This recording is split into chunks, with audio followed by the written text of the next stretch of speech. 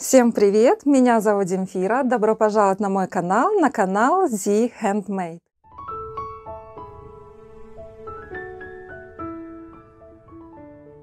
С Новым годом, мои дорогие волшебницы и волшебники крючка! Желаю вам крепкого здоровья, счастья, любви. Пусть вас окружают только добрые люди. И, конечно же, всем нам творческого вдохновения. Я очень надеюсь, что этот год мы с вами проведем очень плодотворно.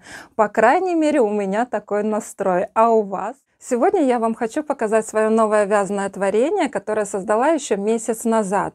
А, я хотела сделать вам на Новый год сюрприз, хотела, чтобы была готовая игрушка и готовый видео мастер-класс. Отсняла даже две части этого видео МК, но, к сожалению, у меня не получилось по состоянию здоровья моего сынульки и по состоянию моего здоровья.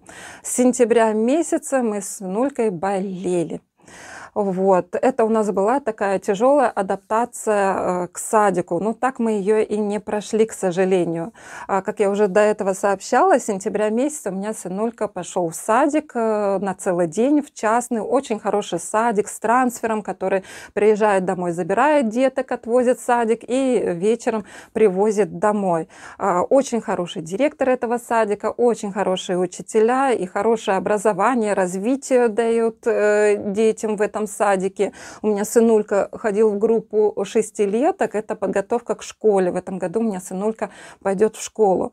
Вот. Э, как бы в этом плане садиком очень я полностью довольна. Но, к сожалению, сынулька постоянно э, приносил какие-то болячки, какие-то инфекции с этого садика. И за эти четыре месяца сынулька принял уже четыре разных э, вида антибиотиков. Это очень много. Для восстановления организма э, после принятия антибиотиков нужно э, целых полгода, а после четырех антибиотиков, я не знаю, наверное, и весь год нужен.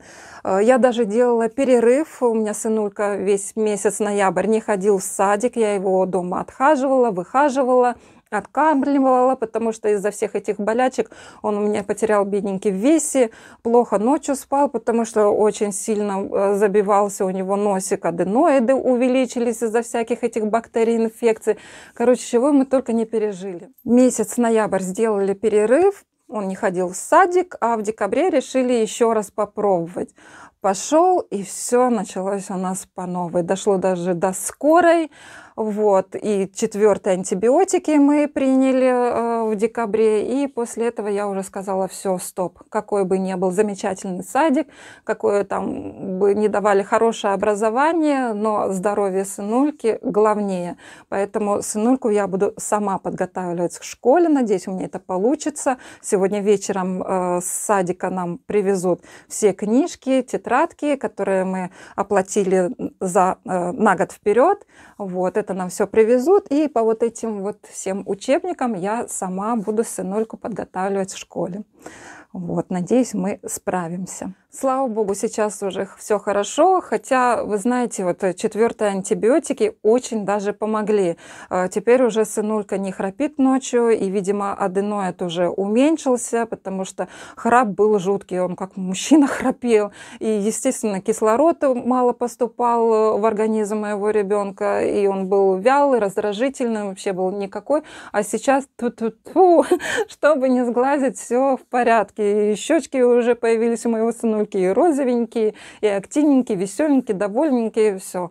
Э, как говорят в Турции, чтобы не сглазить, машаллах, пусть вот так и будет все. Мне будет спокойнее, когда он будет рядышком со мной, конечно, э, ребенку нужно быть в садике, нужно быть э, в школе, чтобы социальная адаптация тоже это все должно быть. Но, к сожалению, ну, не получилось у нас, не получилось. Вот еще завтра мы поедем к доктору, она пропишет нам что-то еще такого для поддержания иммунитета, хотя витамины мы уже тоже пили. Я не знаю, что нам э, в этот раз э, доктор пропишет. Вот, надеюсь, это еще поможет. И до школы пусть он будет лучше дома. Ну ладно, что-то я тут э, заболталась, разболталась. Ну, просто хотелось с вами поделиться. И давайте же теперь я же покажу вам, что же я связала. За месяц, конечно, мне эта игрушка уже не кажется для меня такой новенькой. Она уже мне немножечко как бы э, замазолила глаза. Поэтому я уже сомневаюсь, красивая ли игрушка получилась или нет. Вот, надеюсь на ваши положительные отзывы. Итак, представляю вам мое новое творение «Зайка лапочка. Та-дам! У меня уже есть э, на моем канале видео мастер-класс по зайкам. Одна зайка лапка, лакомка, вторая зайка Тим. И вот третья вот такая вот зайка у меня получилась. И назвала я ее лапочка. Вот с таким пушистым хвостиком, двуцветными ушками. Вот. И, как видите, да, вот готовилась я сделать вам сюрприз на Новый год, поэтому вязала э, в новогодней такой расцветочке. Вот. Ну ничего, лучше поздно, чем никогда, как говорится. В длину такой зайка получается 29 сантиметров. Ну и ушки тоже получается в полный рост. А, детальки, ножки, ручки, ушки вязаны по ходу вязания, пришивной только хвостик. Расход пряжи а, основного цвета белого у меня ушло чуть больше мотка Гималая Dolphin Baby. Грубо говоря, э, ушло где-то полтора моточка Гималая Dolphin Baby и немного красного.